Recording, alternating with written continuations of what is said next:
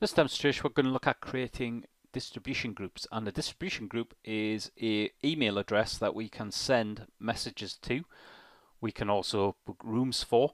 Uh, what this will allow is if we create the distribution group and add members to it, everybody in that group will get the email message or will get the room request, for example. So in order to create a group, we've come into Exchange Admin Center, we come to recipients and we come to groups and to create a group, we click our plus button and we specify distribution group. That brings us into Wizard, so we just need to fill out some information relating to this group. So I'm going to call this AW underscore sales MGRS.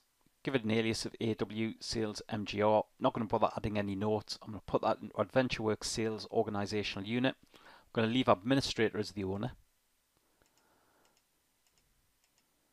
We then got members, so we can add group owners as members. So at this point here, if that tick box is turned on, administrator becomes a member.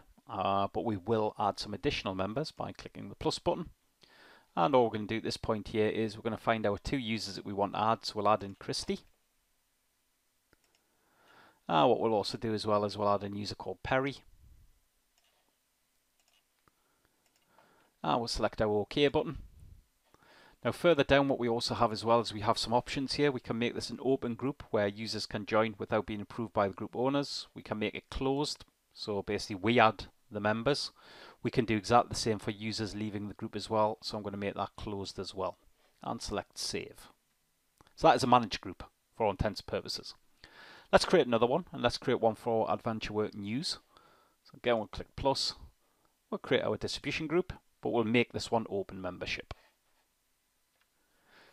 So for this one, we're going to call this one AdventureWork News. The alias will be AdventureWork News. Again, I'm not going to bother adding any notes, but I will put it into the organizational unit of AdventureWorks. I'm happy with you want to be an administrator.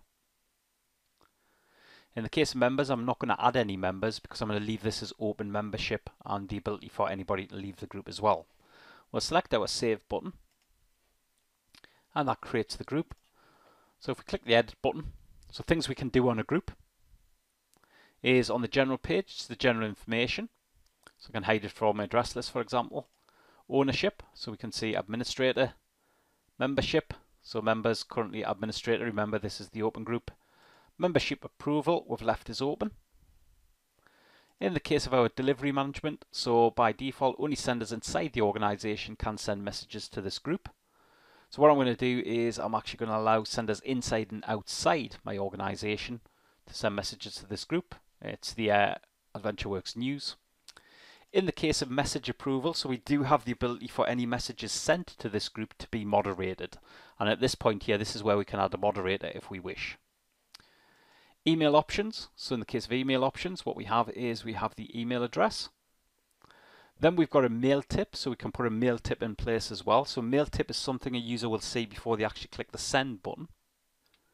So I'm going to add a mail tip to say this is the group for using AdventureWorks. And then finally what we have is we have a group delegation. So send as, receive as permissions, sorry, send as permissions and send on behalf as permissions as well. So we'll select save. And what we've done at this point here is we've created two distribution groups within our Exchange 2019 organization. And that's the end of this demonstration. Thank you.